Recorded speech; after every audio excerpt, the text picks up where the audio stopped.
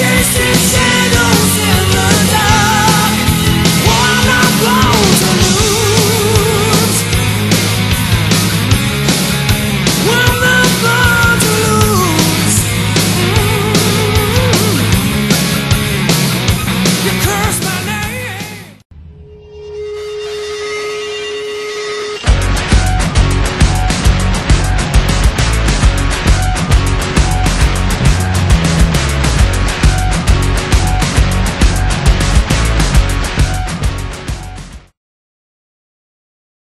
Ladies and gentlemen, I'm Corey O'Ryan and welcome to DPW.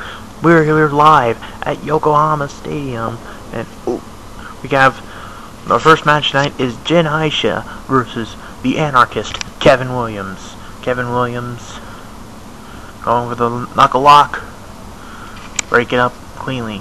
Got a great show for you tonight, folks. We have the incredible, absolutely incredible tag team matchup um, we have it's Team Handsome Tokyo, Mr. J, Jintaro Masaki, and Yoshihiro Tenmaku against Masashi Togashi and Otaka Tokudo.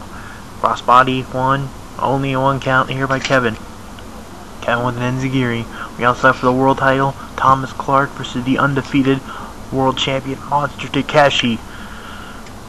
Monster Takeshi has absolutely dominated the championship scene. As you know, he's defeated Shino Kumo. He's defeated me. He's defeated Mr. J. Jintaro Masaki. He's defeated Masashi Togashi. And don't forget that epic hour-long match that he had with uh, uh, Jintaro. Uh, Ooh, that's a go-to jail. He's following up with a half crab. That's gonna be a break. Oh, Haisha went for the super kick.